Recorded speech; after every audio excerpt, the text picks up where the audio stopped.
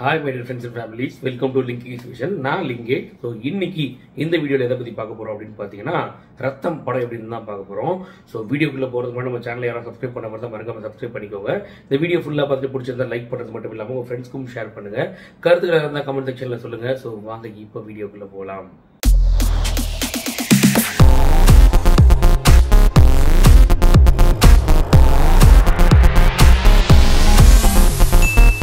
So ரத்தம் படத்தோட story என்ன அப்படின்னு பார்த்தீங்கன்னா ஒரு பத்திரிக்கை ஆஃபீஸ்க்குள்ள ஃபர்ஸ்ட் ஓப்பனிங் சீனே ஒருத்தர் வந்து கொடூரமா ஒருத்தரை கொலை பண்றாரு. கொலை செய்யப்பட்டவர் யாரு அப்படின்னு பார்த்தீங்கன்னா அந்த பத்திரிகை நிறுவனத்தோட ஓனர் ஸோ அவர் வந்து கொலை பண்றாரு. என்னன்னு சொல்லி கொலை பண்றாருன்னா என் தலைவனை பத்தி யார் தப்பா இருந்தாலும் கண்டிப்பா கொண்டு வேண்டாம் அப்படின்னு சொல்றாரு.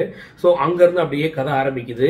நம்ம படத்தோட ஹீரோவான விஜய் ஆண்டனி வந்து பாத்தீங்கன்னா கல்கட்டால இருக்காரு. ஸோ எதனால அவர் கல்கட்டால இருக்காருன்னா அவரு அதே பத்திரிகை ஆஃபீஸ்ல எடிட்டரா இருந்திருக்காரு கொஞ்சம் வருஷங்களுக்கு முன்னாடி. தான் குடும்பம் இந்த வேலையால பாதிக்கப்பட்டுச்சு அப்படின்றதால அந்த வேலையை விட்டுட்டு எதுவுமே வேணாலும் குழந்தைக்காக அங்க போய் செட்டில் ஆயிட்டாரு. ஸோ வேற ஒரு சூழ்நிலை காரணமா வேற ஒரு கட்டாயத்தின் காரணமா அதாவது இந்த கொலையை இன்வெஸ்டிகேட் பண்றதுக்காக அவர் அங்கிருந்து இங்க வராரு. ஆக்சுவலா ஒரு ஜேர்னலிஸ்டா திருப்பி கல்கட்டால இருந்து சென்னைக்கு வராரு. ஸோ அங்க இருந்து படம் ஆரம்பிக்குது. ஸோ இந்த கொலையை யார் பண்ணா யார் பண்ண சொன்னா எதுக்காக பண்ணாங்க அப்படின்றது தான் இதன் மூலியமா என்னென்ன தெரிய வருது அப்படின்றது படத்தோட மிச்ச ஸ்டோரி ஸோ முதல்ல இது ஒரு கிரைம் இன்வெஸ்டிகேஷன் த்ரில்லர் மூவி இந்த படத்தோட பாசிட்டிவ் அண்ட் நெகட்டிவ் ரெண்டுமே சொல்கிறேன் ஃபர்ஸ்ட் பாசிட்டிவ் என்ன அப்படின்னு பார்த்தீங்கன்னா இது வரைக்கும் வந்த கிரைம் இன்வெஸ்டிகேஷன் நம்ம பார்த்ததுல வந்து பார்த்தீங்கன்னா ஒரு டிடெக்டிவ் வந்து கிரைம் இன்வெஸ்டிகேட் பண்ணியிருக்காரு. போலீஸ் ஆஃபீஸர் கிரைம் இன்வெஸ்டிகேட் பண்ணியிருக்காரு.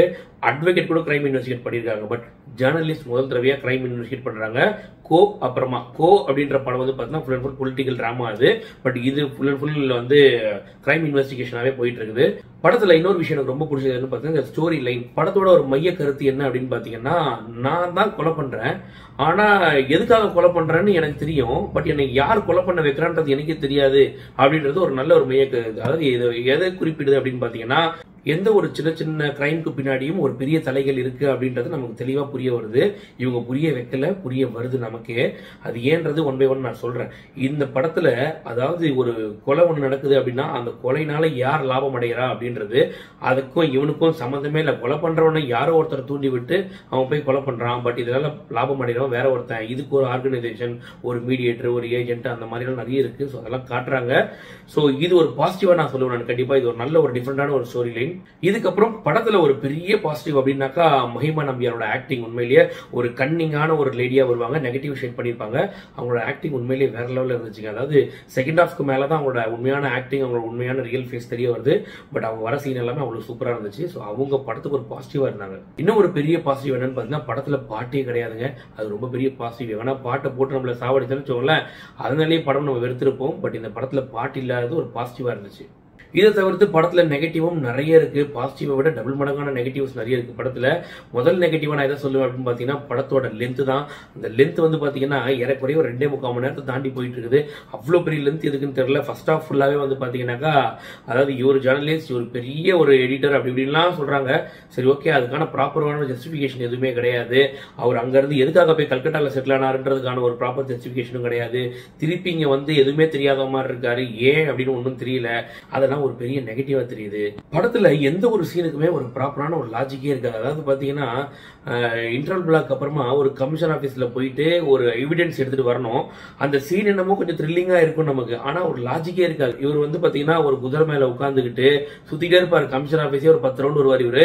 இவருக்கு ஸ்டூடெண்ட் சைடு ஆர்டரும் கொடுத்துடுறாங்க. அப்படி இருந்து இவர் மேல ஒரு புல்லட் படாது. இதெல்லாம் வந்து லாஜிக்காவே தெரியாது நமக்கு. கண்டிப்பா நமக்கு வந்து ஆக்சுவலா இந்த மாதிரி படங்கள் அப்படின்னாலே சினிமா லிபர்ட்டி யூஸ் பண்ணிப்பாங்க. பட் இவங்க ரொம்ப ஓவரா யூஸ் பண்ணிட்டாங்க. வர புல்லட் எல்லாம் இப்படி அப்படின்னு சொல்லிட்டு மிஸ் பண்ணிட்டே போயிட்டு இருக்காரு அதெல்லாம் கொஞ்சம் லாஜிக்கா செட் ஆகாது. சரி மொத்தத்துல படம் எப்படி இருக்கு அப்படின்னு கேட்டீங்கன்னா நான் ஒரு கிரைம் இன்வெஸ்டிகேஷன் த்ரில்லர் எடுக்கிறேன் அப்படின்னு சொல்லிட்டு ஒரு ப்ராப்பரான ஸ்கிரிப்ட் இல்லாம கதை எங்கெங்கேயோ மேய விட்டுட்டு ஜவ்வா இழுத்து வச்சிருந்தாங்க.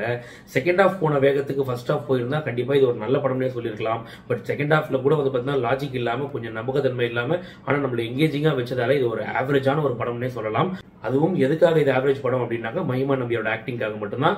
வேற எதுக்காகவும் கிடையாது. பார்த்தீங்கன்னா இது ஒரு நல்ல ஒரு ஸ்டோரி இதை வந்து சூப்பராக கொண்டு போயிருக்கலாம். ஆனால் இவங்க வந்து ஜவ்வா இழுத்து எந்த பக்கம் போகிறதே தெரியாம பல வளன்னு தள்ளிட்டாங்க. அதனால இது ஒரு ஆவரேஜான படமா இன்னைக்கு வந்திருக்கு. சரி இந்த படம் வந்து எந்தெந்த ஆடியன்ஸ் எல்லாம் பார்ப்பாங்க அப்படின்னு கேட்டிங்கன்னா எனக்கு கிரைம் இன்வெஸ்டிகேஷனாலே ரொம்ப பிடிக்கும். கிரைம் த்ரில்லாம் ரொம்ப பிடிக்கும் அப்படின்றவங்களுக்கு கண்டிப்பா இந்த படம் பிடிக்கும். நான் வந்து லாஜிக்கெல்லாம் எதிர்பார்ப்பேன். எனக்கு இந்த படம் பிடிக்குமானா தயவு செஞ்சு தேட்டர் பக்கம் போயிடாதீங்க. பட் என்னை பொறுத்த வரைக்கும் இது ஒரு ஆவரேஜான படம் தான். இதுதான் பியூர்லி லிங்கீஸ் விஷன் இந்த படத்துக்கு நம்ம லிங்கீஸ் விஷன் சேனல் கொடுக்கக்கூடிய rating six out of ten so இந்த ரிவ்யூ உங்களுக்கு பிடிச்சிருந்தா மறக்காம லைக் பண்றது மட்டும் இல்லாமல் உங்க ஃப்ரெண்ட்ஸ்க்கும் ஷேர் பண்ணுங்க. கருத்துக்களை இருந்தால் கமெண்ட் செக்ஷன்ல சொல்லுங்க. சப்ஸ்கிரைப் பண்ணாம இருந்தால் மறக்காம சப்ஸ்கிரைப் பண்ணிக்கோங்க. இன்னொரு இன்ட்ரெஸ்டிங் வீடியோல சந்திக்கிறேன். By by